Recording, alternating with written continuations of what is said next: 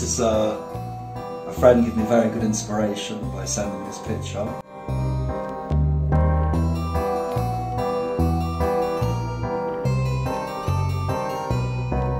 The original, it's very virginal, mine looks like brothel.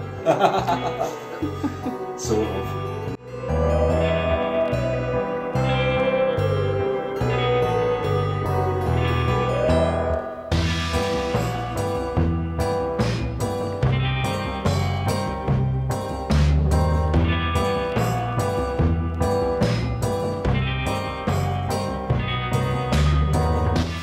She's in the foreground, and behind her is a lot more going on to do with medicine and stuff like that. And so the snake the bowl, there's a couple of faces, one face here, one face there.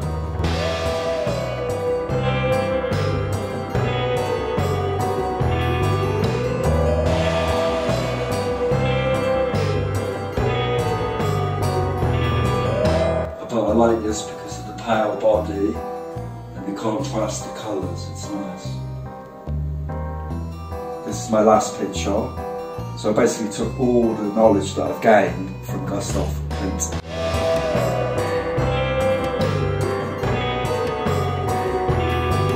Not sure what to do yet, I'm just going to do the circles and carry on. Inspiration.